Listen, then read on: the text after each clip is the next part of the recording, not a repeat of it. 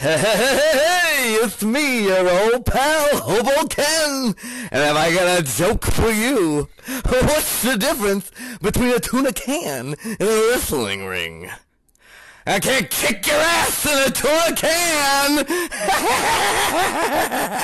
alright, alright, alright, I got another one.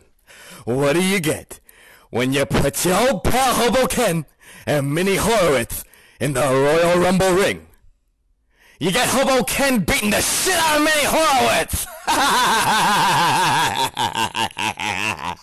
and I'll see you in the Royal Rumble ring!